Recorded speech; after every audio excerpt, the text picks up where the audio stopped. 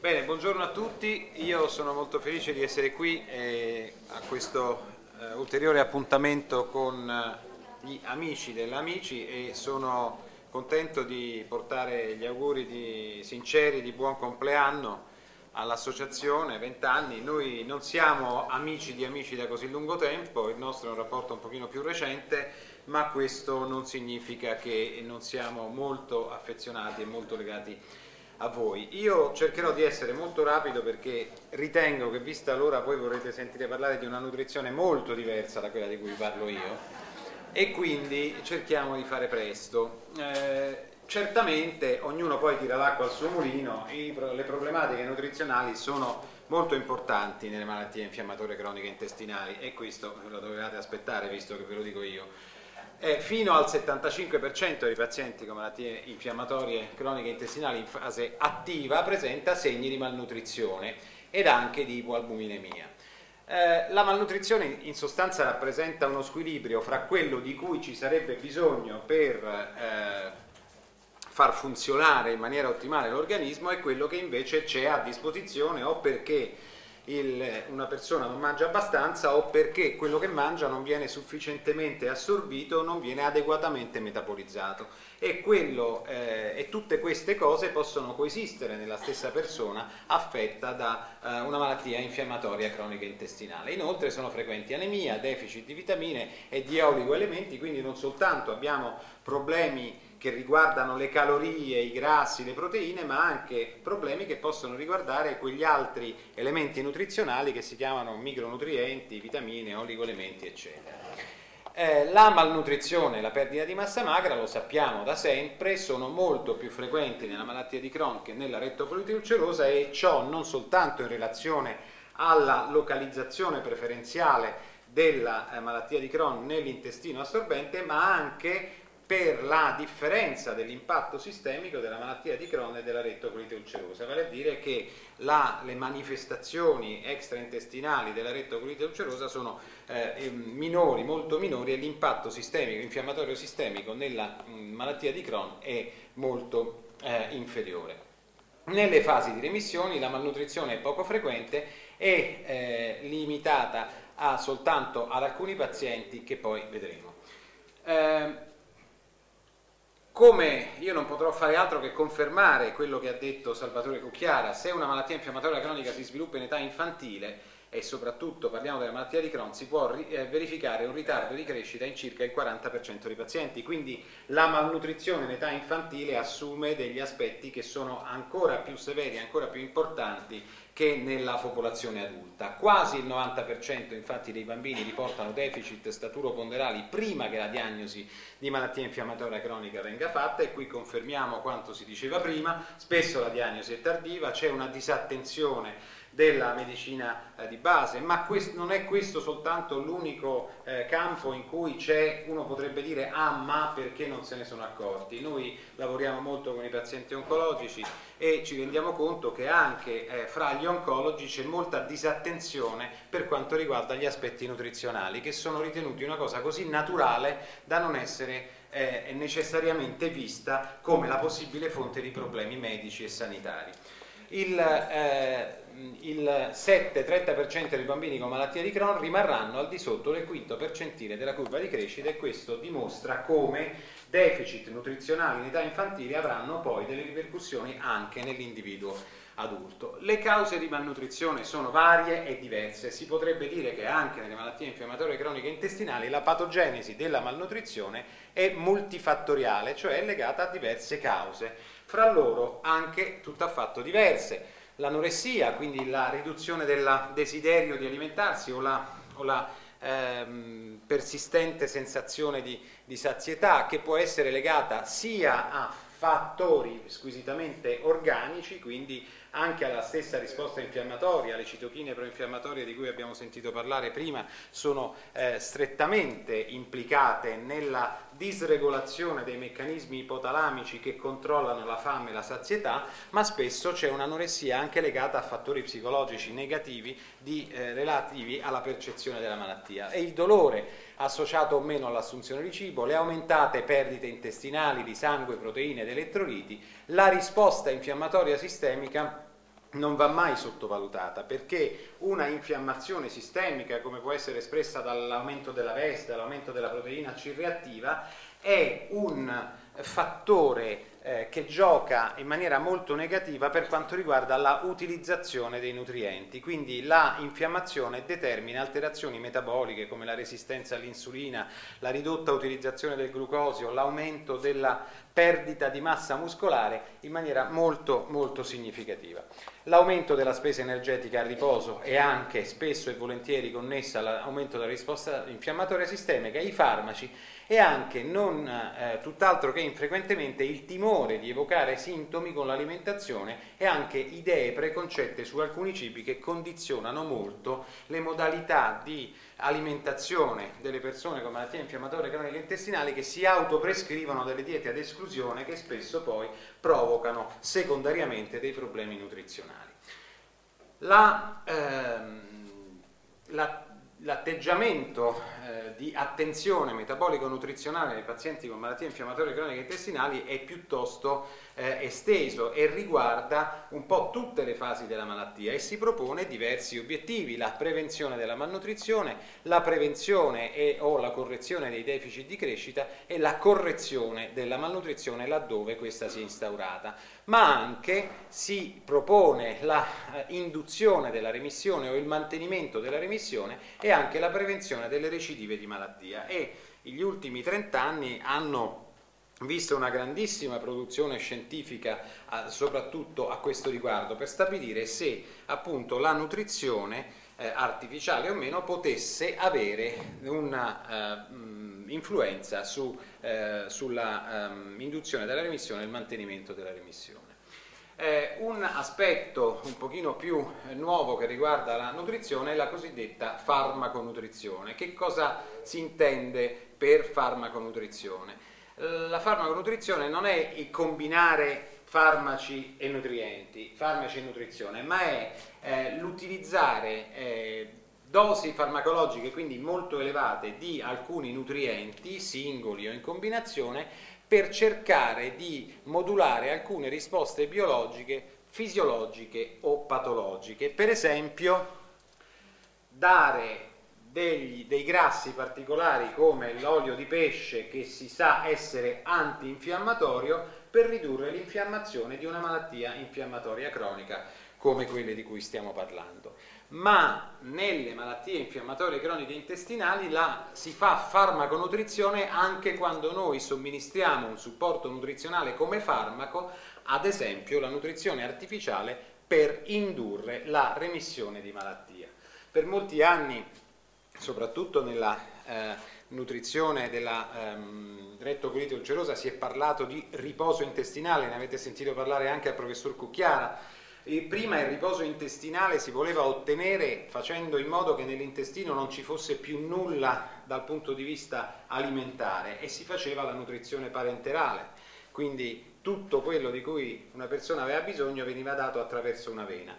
Mm, questo approccio non ha mai prodotto degli effetti ehm, veramente significativi. A fronte di una serie di potenziali complicanze della nutrizione fatta per vena, il riposo intestinale fatto in quel modo non ha eh, poi è, è, andato un po' tramontando e quindi quel tipo di nutrizione artificiale è riservato ad alcuni pazienti, ad esempio nel periodo eh, perioperatorio. Quali sono quelli che potrebbero essere chiamati farmaconutrienti e quali possono avere rilevanza nella, nelle malattie infiammatorie croniche intestinali? Gli acidi grassi della serie omega 3, quelli estratti dall'olio di pesce, quindi l'acido eicosa pentenoico, l'acido docosa esenoico, i probiotici ed i prebiotici, gli acidi grassi cosiddetti a catena corta o short chain fatty acids, la glutamina e anche la nutrizione artificiale standard o specializzata e qui poi chiariremo anche che cosa significa quella parola di dieta di cui si parlava prima, dieta polimerica eh, che non è assolutamente una dieta ma sono dei prodotti che vengono chiamati diete. Ora per capire se la farmaconutrizione possa avere qualche ruolo nel trattamento delle malattie infiammatorie croniche intestinali e particolarmente nella malattia di Crohn possiamo fare ricorso a degli studi che si chiamano meta-analisi. Le meta-analisi che cosa sono? sono è mh, un modo per mettere insieme i vari studi che sono stati fatti negli, negli anni più recenti, anche da gruppi diversi, anche con ehm, numero di pazienti spesso eh, contenuto, si mettono tutti insieme quegli studi che hanno delle buone caratteristiche di solidità scientifica che sono comparabili tra di loro e quindi è come se venisse fuori uno studione che è la somma di tutti gli studi clinici fatti in quel settore. E per vedere se per esempio eh, gli omega 3 eh, verso il placebo sono, eh, eh, in, hanno influenza sulla ehm, recidiva ad un anno, noi andiamo a vedere questa linea che separa i due trattamenti, cioè il trattamento attivo, gli omega 3 e per esempio il placebo. Se questo diamante cade da una parte o dall'altra, vorrà dire che il eh, trattamento fa bene. In questo caso il diamante va, ricade dalla parte del trattamento e quindi si potrebbe ehm, credere che gli omega 3 favoriscono la eh, prevenzione della eh, recidiva, ma poiché la punta del diamante tocca la riga, questo dato non è significativo, quindi vanno un po' meglio, ma non in maniera eclatante. Se però invece si selezionano soltanto gli studi in cui sono stati usati gli acidi grassi della serie omega 3 microincapsulati e quindi più resistenti alla, all'effetto delle secrezioni gastriche, si vede che questo trattamento è efficace rispetto al placebo nel eh, ridurre il, la frequenza di recidive ad un anno. E eh, qui per quanto riguarda eh, tutti gli studi eh, omega 3 verso placebo e qui vediamo che cosa succede per i cosiddetti probiotici. Vedete che in nessun caso i diamanti cadono al di qua o al di là e questo indica che non ci sono eh, differenze fra il placebo e i probiotici nella eh, percentuale di recidive. La, eh, per quanto riguarda i prebiotici ci sono pochi studi controllati. Tutto questo eh, deve servire anche un po' a fare chiarezza perché su questi aspetti nutrizionali, farmaco-nutrizionali, c'è sempre una forte eh, pressione eh, industriale e poiché si tratta di nutrizione e non di farmaci, eh, allora spesso ci si sente autorizzati a, dire di tutto e di più e di tutto è il contrario di tutto. Molto spesso questo atteggiamento però induce eh, nelle persone ehm, anche delle false aspettative e spinge le persone che sono sempre più eh, vicine alla paramedicina, alle medicine alternative, anche a impegnare notevoli somme di denaro per eh, utilizzare dei nutrienti che potrebbero avere degli effetti benefici. Quindi non solo ci interessa dal punto di vista fisiopatologico capire se queste cose funzionano, ma ci interessa anche dal punto di vista pratico per evitare che magari le persone si autosomministrino delle, delle diete o, delle, o prendano dei nutrienti che non hanno alcun beneficio o addirittura potrebbero indurre maleficio. Eh, per quanto riguarda la rettoclite ulcerosa ci sono pochi studi controllati sui prebiotici, eh, però eh, questi sembrerebbero eh, avere degli effetti positivi. Eh, per quanto riguarda gli acidi grassi a catena corta, voi sapete che questi sono eh, composti che si eh, formano nel grosso intestino come, ehm, come, sostanza che viene prodotta dalla, ehm, dai carboidrati non assorbibili, quindi dalla fibra alimentare e che eh, nel, a livello del grosso intestino possono avere tutta una serie di effetti eh, positivi anche perché eh, da tempo si, eh, è noto che questi short chain fatty acids rappresentano un substrato ossidativo, cioè sono un carburante che è molto bene utilizzato dalle cellule del colon. Hanno un ruolo molto importante nella acidificazione del contenuto colico il butirrato, che è uno di questi composti, stimola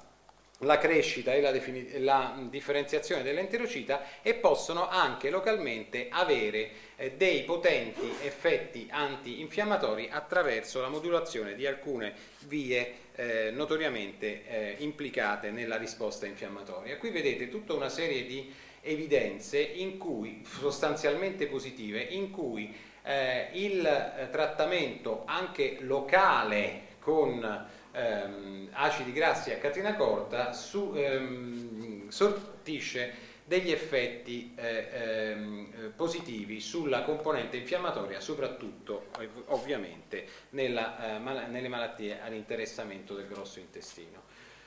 Da molto tempo ormai si parla della glutamina, la glutamina è un aminoacido, è presente nella dieta, è un considerato un aminoacido non essenziale perché il nostro organismo è in grado di sintetizzarlo a partire dall'acido glutamico e, eh, e, anche altri aminoacidi, però si sa che in determinate condizioni questo aminoacido può diventare essenziale, cioè ci, ci possono essere situazioni in cui è necessario darne più di quello che ehm, si, eh, normalmente si assume con la dieta oppure in nutrizione artificiale è necessario somministrarlo perché normalmente in nutrizione artificiale la glutamina non si dà.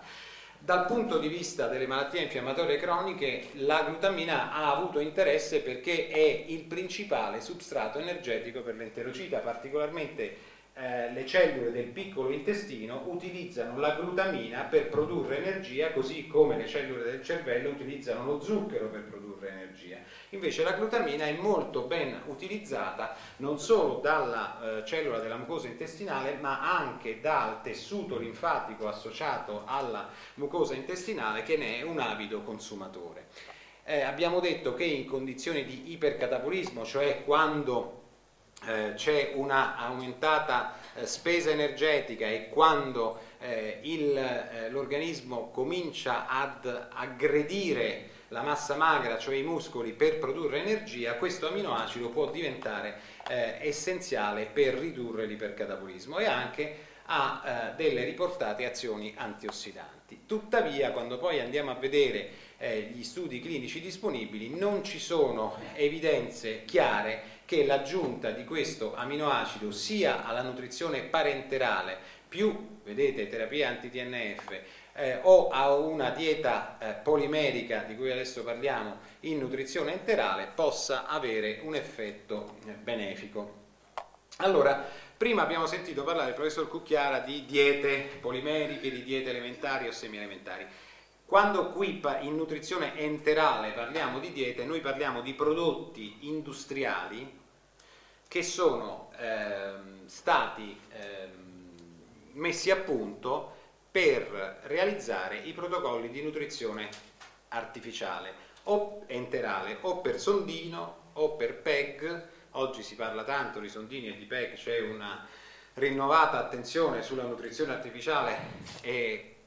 perché si parla dei casi estremi come quelli della ragazza in stato vegetativo permanente, si parla tanto di nutrizione, idratazione, alimentazione, eccetera, eccetera, e si dice anche che questo non è un trattamento medico, ma è un trattamento così compassionevole, tuttavia eh, abbiamo le, ben chiare le evidenze che in condizioni come le malattie infiammatorie croniche intestinali, sia dell'adulto ma soprattutto del bambino, la nutrizione artificiale sia tutt'altro che un trattamento compassionevole, ma è una vera e propria terapia medica in grado di condizionare anche l'evoluzione della malattia. Quindi polimerica o semi-elementare significa semplicemente se eh, questi prodotti siano eh, composti dai nutrienti in forma intera oppure eh, fra, eh, già idrolizzati per rendere più facile l'assorbimento anche in un intestino che non sia eh, completamente funzionale da questo punto di vista. Quindi eh, le polimeriche sono fatte di proteine intere derivate dal, dal, mm, dal, dal latte, quindi dai caseinati, da eh, carboidrati complessi, mentre i, eh, le diete elementari o semi-elementari hanno carboidrati più corti e proteine che sono sotto forma o di aminoacidi o di peptidi e gli aminoacidi e i peptidi puzzano e eh, le diete semi-elementari e le diete elementari puzzano più o meno come puzza il mangime per i pesci rossi, quindi vi potete immaginare che goduria. Può essere specializzata ad esempio arricchita in alcuni eh, principi come il TGF beta. C'è un ruolo nella fase acuta, c'è un ruolo nel mantenimento della nutrizione, qui eh, il professor Cucchiara già vi ha accennato eh, alla nutrizione enterale fatta con prodotti arricchiti con questo TGF beta, eh, sarebbe il Transforming Growth Factor Beta, che è una citochina normalmente presente nel latte materno, si sa promuovere la guarigione mucosa, possiede proprietà immunomodulanti principalmente antinfiammatorie, è implicato nei meccanismi di tolleranza alimentare e favorisce la proliferazione cellulare. Ci sono due studi non molto numerosi, ma che in effetti indicano che eh, prodotti eh, per nutrizione enterale somministrabili per os, come diceva Cucchiara, in pazienti pediatrici ed adulti sono eh, in grado di eh, migliorare la eh, situazione clinica sia in appunto nella, nella, popolazione pediatrica e anche nella popolazione adulta eh, in eh, soggetti intolleranti o resistenti alla terapia eh, steroidea o con infliximab, remissione in quasi il 50%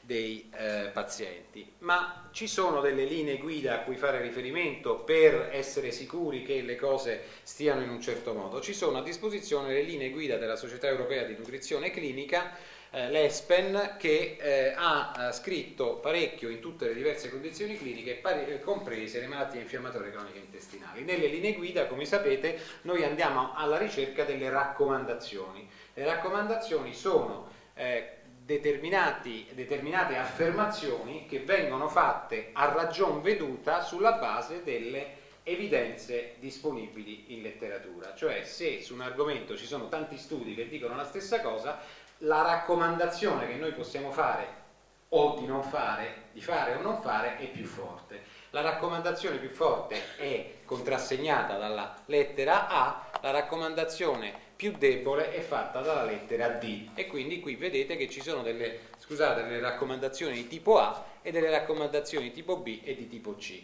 Che cosa ci dicono? Ci dicono che le indicazioni della nutrizione enterale sono la prevenzione e il trattamento della malnutrizione, ma anche il miglioramento eh, del, della crescita e dello sviluppo nei bambini e negli adolescenti, migliorano la qualità di vita, eh, mh, c'è indicazione nella fase acuta di terapia, nel periodo perioperatorio. Rimane forte, fissa l'indicazione alla nutrizione artificiale quando noi dobbiamo arrivare ad un intervento chirurgico ma le condizioni nutrizionali del paziente non sono buone e quindi è estremamente sconsigliabile che il paziente venga operato se ha perso molto peso o se sono presenti dei segni di malnutrizione. Oggi nessun chirurgo eh, ama più operare un paziente malnutrito a meno che non si trovi in condizioni di urgenza, ma un'operazione in elezione su un paziente malnutrito è un errore clinico molto importante e il chirurgo lo sa, quindi spesso l'intervento viene portato in avanti per dare il tempo ad una nutrizione preoperatoria di ripristinare almeno alcuni dei parametri nutrizionali eh, facendo, perché se non si fa così il paziente avrà maggiori complicazioni. Vedete, negli adulti l'uso della nutrizione enterale come terapia unica per la fase acuta, quando il trattamento con i corticosteroidi non è possibile, ha una raccomandazione di tipo A e ehm, anche per il mantenimento della remissione ci sono raccomandazioni di tipo B e eh, per quanto riguarda la, eh, il mantenimento della remissione eh, ci sono anche raccomandazioni di tipo B. Quindi ci sono eh, delle evidenze tutto sommato piuttosto buone che eh, ehm, la nutrizione artificiale fatta con prodotti specifici sia in grado di sortire degli effetti eh, benefici sulla, in questo tipo di popolazione. Però vedete, per quanto riguarda le, la nutrizione cosiddetta specializzata, la farmaconutrizione, ancora non ci sono sufficienti evidenze per fare dire sì, bisogna usarla, anzi c'è una raccomandazione tipo A che dice non sono raccomandati perché non ci sono ancora dei chiari benefici. Quindi a fronte di una serie di studi che possono avere dato risultati positivi, le evidenze disponibili in letteratura non sono ritenute, secondo le linee guida dell'ESPEN, ancora sufficienti a raccomandarne l'impiego e questo significa eh, a da una parte non creare false aspettative e dall'altra non spendere inutilmente i soldi per delle ehm, ehm, miscele che sono generalmente più costose di quelle polimeriche cosiddette standard. Per quanto riguarda la eh, colite ulcerosa, vedete le raccomandazioni sono molto minori in numero in relazione al minore impatto nutrizionale della rettocolite ulcerosa e sono quasi tutte di tipo C. Qui eh, prima si parlava di effetto delle diete elementari verso le diete non elementari, il vantaggio delle elementari che possono essere, delle non elementari è che possono essere bevute, lo svantaggio delle elementari è che sono più costose e non palatabili. Vedete che oggi siamo arrivati ad un tale eh, buon livello di eh, um, tollerabilità delle diete polimeriche che non ci sono differenze fra eh, le diete elementari e le diete polimeriche nella um,